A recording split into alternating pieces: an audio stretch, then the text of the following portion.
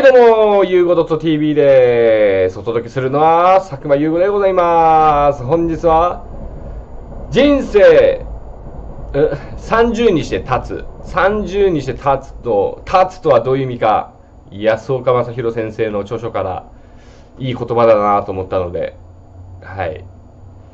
人生15にして、30にして立つ。15にこ、15人生15にして学問に志し30にして立つ。立つとはどういう意味か。立つっていうのはだからその 30, 30歳になると人間は自分はどういう存在なのかとか何をしなければいけないのかとかそういうことを思う年齢らしいですね。男はもう30にもなったから何かを成し遂げなければいけない。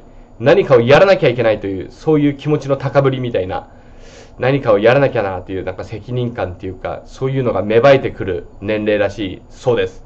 確かに自分も今年で30になりますが、今そのような状況です。何かをしなければ、何かなさねば、人生一度きりだし、何かをやり遂げなければいけないなという気持ちがすごく強いです。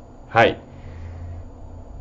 ぜひ、そういう感じの気持ちとか思考が自分にはあるのかどうか、自分に問い詰めてみてる、見えるのもいいかもしれませんね。はい。ということで、本日も勉強になりました。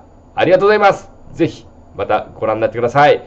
チャンネル登録とコメントの方もよろしくお願いいたします。それではまた、ありがとうございます。バイ